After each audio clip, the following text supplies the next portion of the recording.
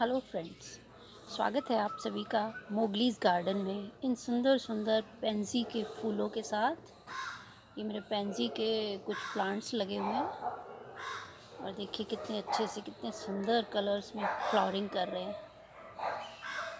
कुछ इस तरफ़ लगे हैं। ये मेरा पेंसी का येलो कलर का फ्लावर येलो और मैरून शेड में है। देखिए कितने सुंदर, कितनी अच्छी फ्लावरिंग कर रहे हैं। और ये कुछ पर्पल शेड में है। ये देखिए। ये पर्पल शेड में है। और ये येलो कलर में येलो शेड में। देखिए। और ये भी येलो शेड में है। ये मैरून और येलो कलर का ये भी खिलने वाला है। और ये भी येलो मैरून ये प्योर येलो कलर में और ये अलग प्लांट है, ये शायद मैरून कलर में और येलो शेड में निकलेगा। ये कुछ पिंकिश कलर में लग रहा है। तो फ्रेंड्स अच्छी फ्लावरिंग लेने के लिए मैंने इसमें क्या किया? जब मैं इनको लेकर आई थी तो ये छोटे छोटे दो तीन इंच के पौधे थे। मैं सात आठ पौधे लेकर आई थी। तो उस वक्त इनको मैंने ये छोटे छोटे बॉल्स जो ये फ्री होम डिलीवरी में ये छोटे छोटे बॉल्स आते हैं, जिनमें खाना आता है, उनको मैंने इस तरह से ये छोटे छोटे छेद करके नीचे बॉटम में और इस तरह से लगा दिया। तो मैंने इनमें क्या डाला? मैंने इनमें कोकोपीट मिट्टी थोड़ी सी मेरे गार्डन की मिट्टी और वर्मी कंपोस्ट और थोड़ी थोड़ी बिल्कुल एक एक स्पून में नीम खली, ताकि कीड़ा वीड़ा या किसी तरह के कोई भी कीड़े वीड़े का अटैक ना हो। वैसे इन पे मैंने कभी देखा नहीं कीड़े का अटैक होते हुए। तो इसमें मैंने ये चीज़ों का मिक्सचर बना के और इन छोटे छोटे बॉल्स में लगा दिया। पहले मैं इन्हें हैंग करना चाहती थी, लेकिन ये मेरे पास ये एक स्पेयर टेबल पड़ी हुई थी। तो मैंने सोचा इसी के ऊपर इनको रखती हूँ। अच्छा सुंदर लगेंगे। जब ये एक साथ रखते हैं तो बहुत सुंदर लगते हैं। तो मैंने इन्हें इस टेबल के ऊपर रख दिया। नीचे एक एक ये प्लेट रख दी, ताकि टेबल गंदी ना हो। वैसे इसके ऊपर मैंने पॉलीथीन लगाया है। तो ये देखिए कितने सुंदर कलर्स। इनमें डेली मैं थोड़ा थोड़ा पानी डालती हूँ। क्योंकि ये पॉट भी बहुत छोटे हैं, बहुत जल्दी सूख जाता है। आजकल धूप भी काफ़ी तेज़ आ रही है। तो मॉर्निंग में ये काफ़ी अच्छे से खिलना शुरू कर देते हैं। और मैंने इनमें क्या डाला? मैं इन्हें खाद, जैसे वर्मी कंपोस्ट वगैरह, ये एक बार जब मिट्टी बनाते, बनाई है, तभी डाल दी थी।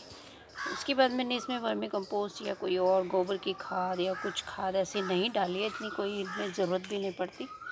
लेकिन मैं इनमें वीक में एक बार कम से कम ये सरसों की खली ये सरसों की खली है फ्रेंड्स ये कहीं भी आपको नर्सरी में मिल जाएगी। ठीक है तो ये सरसों की खली को आ, पानी में भिगो के चार पाँच दिन में तैयार हो जाती है। इस तरह से पानी में भिगो लीजिए और इसको मिक्स करके अच्छे से मिक्स करके और थोड़ा और पानी मिला के फिर मैं अपने पौधों में, बल्कि सभी पौधों में डालती हूँ, खाली पेंसी में नहीं। ये इस तरह से तैयार हो जाती है, ठीक है? तो इसे ज़्यादा पानी में मिला के बिल्कुल पतला पतला एकदम लाइट क्रीम कलर का घोल बना के और मैं अपने पौधों में थोड़ा थोड़ा करके वीक में एक बार डालती हूँ। इससे इनकी ग्रोथ अच्छी होती है और अच्छी फ्लावरिंग भी होती है। कभी कभी मैं क्या करती हूँ कि मैंने बनाना पील बनाया हुआ है। बनाना के छिलकों को पानी में भिगो के रख दें, चार पाँच दिन में वो तैयार हो जाते हैं।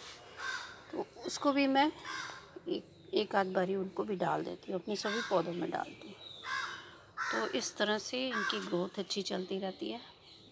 जब इनके फ्लावर, जो भी दो तीन दिन चल जाता है एक फ्लावर तो जब ये स्पेंट हो जाते हैं, उन्हें हटा दीजिए, नहीं तो ये बीज बनना शुरू हो जाता है।